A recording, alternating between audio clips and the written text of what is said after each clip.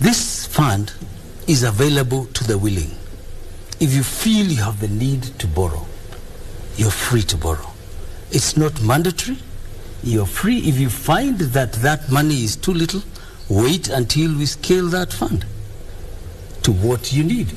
But at the moment, if you find that your need is to put food on the table and you urgently need, you either Fuliza or take a, a cheap uh, facility with the Hustler Fund at 0.02% interest rate, okay?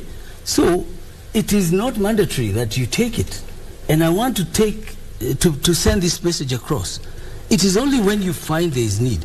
If you feel right now, my need is to have a meal, I'll walk, borrow that 500 shillings, go and have a meal, I'll pay it when I get the money. But right now, I need that personal satisfaction. When it comes to borrowing for the micro lending, there'll come a time when then you look at your priority of issues. Mm-hmm. But now you ask me, what can you do with 500 shillings? What business can you start? Now, when we launched the, the Hustle Fund at the Green Park with the president, mm-hmm. that question was alive. And one maize vendor there told me, I was there interviewing. He said, with 500 shillings, if I buy maize from the market there, I will come and roast it here. And by the end of the day, I'll have 800 shillings or 750 shillings. Let's first of all do No, wait. We are starting from the bottom there, Yeah. uh, O'Brien.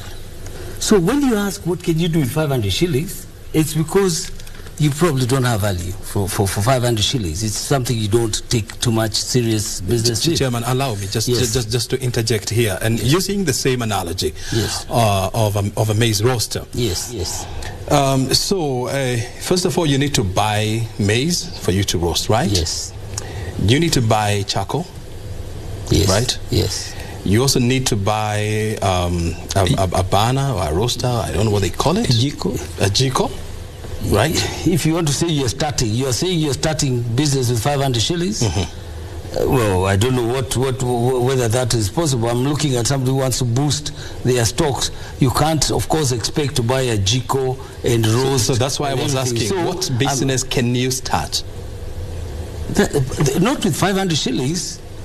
So- not with 500 shillings. So I'm in agreement that you cannot start a business with 500 shillings. considering, you know, I think you're, you you know, I don't want to pretend that uh, I don't understand what you're asking, but the truth is, mm-hmm. this is not a business loan. It is supposed to be for personal consumption. All right, personal loan. Mm-hmm. When you start thinking about business, then you now do, uh, uh st- uh, you know, you, you, itemize what you want to buy and see how much you need. Okay? Yeah. But with 500 shillings, a maize, maize vendor who was there said, mm-hmm. with my Jiko, if I buy now stocks, Yeah.